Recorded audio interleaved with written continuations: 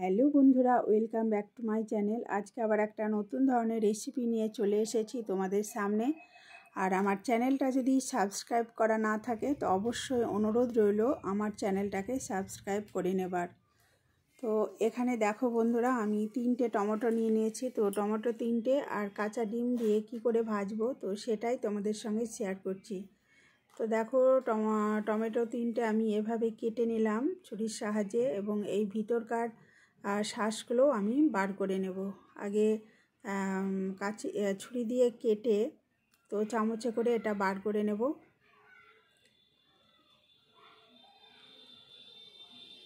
তো দেখতে পাচ্ছ বন্ধুরা, আমার বার করে নেওয়া হয়ে গেছে। সুন্দর একটা মানে ভিতরে কোনো শ্বাস নেই, একদম বাটির মতো করে নিয়েছি। আর এই দেখো, এটা আমি একটা বাটিতে সরিয়ে রাখলাম। ওটা অবশ্য আমি ফেলে দেব না। লাস্টে ওটাও কীভাবে ভেজে নেব সেটাও তোমাদের সঙ্গে শেয়ার করব। তো দেখো এখানে আমি পেঁয়াজ ধনে পাতা আর একটু গাজর আর কাঁচা লঙ্কা নিয়েছি। তো প্রথমে টমাটোতে হালকা করে একটু লবণ দিয়ে নিতে হবে। তো আমি অবশ্য আগে দিইনি, আমি এই যে তিনটে, চারটে মানে দেওয়ার পরে ধনে পাতা গাজর, কাঁচা লঙ্কা আর পেঁয়াজ মানে দিয়ে নিচে তারপরে উপর থেকে লবণ ছড়িয়ে দিয়েছি। তো দেবার পরে দেখো এখানে না মানে ছোট মুরগির ডিম হলে ভালো হতো। তো এখানে যেহেতু মানে ডিমগুলো একটু বড় আছে, তো সাদা অংশটা অনেকটাই বেশি। তো অন্য একটা বাটিতে আমি ঢেলে রাখছি। আর দেখো কুসুম এবং সাদা অংশ সমেত কিন্তু আমি টমেটোর ভিতর দিয়ে দিলাম।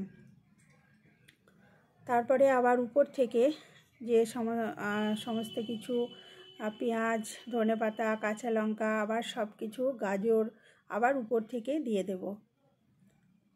তো দেখো, দিয়ে দেওয়া হয়ে গেছে। তো তারপরে আবার বিট লবণ আর গোলমরিচের গুঁড়ো আমি দিয়ে দিয়েছি উপর থেকে।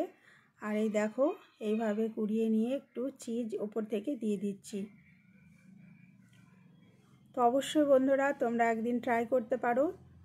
খুবই সুন্দর খেতে টেস্ট মানে ডিম আমার ছোট মেয়ে তো খুব ডিম খেতে পছন্দ করে। ওর সব সময় ডিম হলে ভালো হয়, তো ডিম দিয়েই একটু অন্য রকম করে বানিয়ে আমাকে দিতে হয়। তো সেটা তোমাদের সঙ্গে শেয়ার করলাম। তো দেখো, তারপরে সমস্ত কিছু আমার দেওয়া হয়ে গেছে। তো ফ্রাই প্যান বসিয়ে দিয়েছি। তো যে অংশগুলো কেটেছিলাম, তো সেগুলো দিয়ে ফ্রাই প্যানের উপরে দিয়ে আমি কিন্তু কোনো রকম এখানে তেল ইউজ করিনি। তো তারপরে দিয়ে ভালো করে ঢাকা দিয়ে দু মিনিট পরে ঢাকা খুলে একটু দেখে নিলাম কি অবস্থা। তো দেখো, এ, দু মিনিট পরে ফিরে আসলাম। আর আঁচটা অবশ্যই মানে মিডিয়াম আঁচে দিতে হবে। মিডিয়ামের চেয়েও মানে কম লোতে দিলে ভালো হয়। তো ঠিক আছে, তো তারপরে দেখো, হয়নি যেহেতু। তো তারপরে আবারও আমি দু মিনিট চাপা দিয়ে রেখে দিয়েছি। তো দু মিনিট পরে আবারও আমি একবার দেখেছিলাম। তো দু মিনিট দু মিনিট, চার মিনিট হয়ে গেছে অলরেডি কিন্তু হয়নি। আমি একবার খুলে, ঢাকা খুলে দেখে নিয়েছি। তো তারপরেও আবার দু মিনিট আমি চাপা দিয়ে রেখেছি। তো চাপা খুলে আমি দেখো মাঝখানে আমি ওই যে ডিমের সাদা অংশটা আর কিছু অবশিষ্ট ছিল, পেঁয়াজ কুচি, কাঁচা লঙ্কা, ধনে পাতা আর ওই যে টমেটোর ভিতরের শ্বাসটা যেটা আমি কিন্তু ফেলে দিইনি। তো সমস্ত কিছু একসঙ্গে দিয়ে তো দেখো ফ্রাই প্যানে এক সাইডে আমি দিয়ে দিয়েছি। তো তাহলে দুই ধরনের, দুই রকমের ডিম ভাজা একেবারে রেডি হয়ে গেল। তো দেখো মোটামুটি আমার রেডি হয়ে গেছে। তো আমি এবার সার্ভ করে তোমাদেরকে দেখাবো।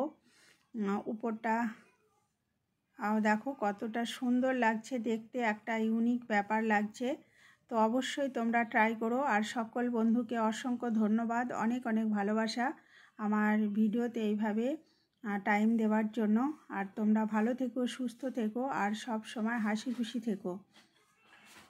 তো দেখো বন্ধুরা, আমার হয়ে গেছে অলরেডি তো এইভাবে সার্ভ করাই যায়।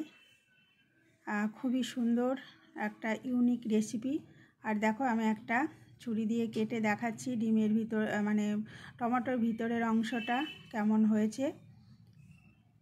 তো ঠিক আছে বন্ধুরা আবারও নতুন কোনো ভিডিও বা রেসিপির সঙ্গে তোমা, তোমাদের দেখা হবে।